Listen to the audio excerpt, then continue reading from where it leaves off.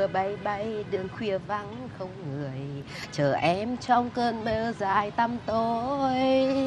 Làm sao đưa anh đi vào nắng sớm ban mai để có em đẹp mãi trong tương lai? Về thôi! Ôi, ừ. khiếp quá! Sao thế? Rau mùi! Vừa, vừa chua vừa khét. Không tắm à? Ngày nào chả tắm? Ừ. Với lại đi suốt từ sáng đến giờ người đầy mồ hôi Không hôi mới là lạ. Ai chả nóng ai chả mồ hôi. Nhưng mà cơ bản là biết ừ, cơ thể mình nó có chút khiếm khuyết ấy, thì mình phải khắc phục. Ngày tắm năm bảy lần vào thì có sao đâu. Ra khỏi nhà xịt một tí nước hoa có phải là đỡ ảnh hưởng vệ sinh môi trường không?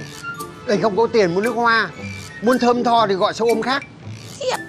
Từ từ nào. Gì mà nóng thì thôi khắc phục bằng cách ừ, bịt hai cái khẩu trang thôi chứ còn làm cái gì? Nào đi nhanh. Chị Xoài, ơ?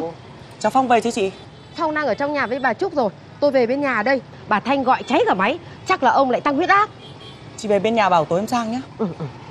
Này Mà nhăn cái mặt làm gì? Hả? Giãn ra cho nó vui Ây Giời, người ta đã ủng hộ như thế. Thì Đây cũng đang hợp tác đây này. Có đời nhà ai gọi xe ôm đi mà mất tiền Rồi mỗi lần lên xe như là diễn viên ballet ấy này. Không. Mà ngồi sợi rau mùi thì ngồi cách xa xa ra Không người Ngồi bảo. cứ dính rồi. Đâu đây? Đi khách chứ đi đâu? Có gì không?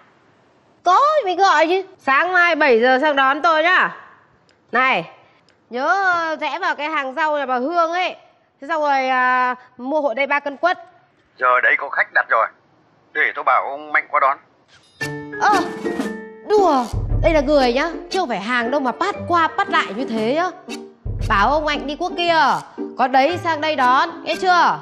Cái quen thì phải biết ưu tiên như thì Rồi để tính. Tinh tinh cái gì? Chốt luôn. Bà này Chịu khó dậy sớm tí tắm rửa cho sạch sẽ đi.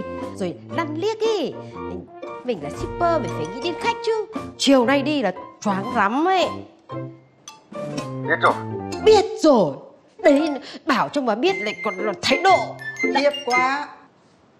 Nói chuyện với xe ôm ấy Hạ xuống một tông.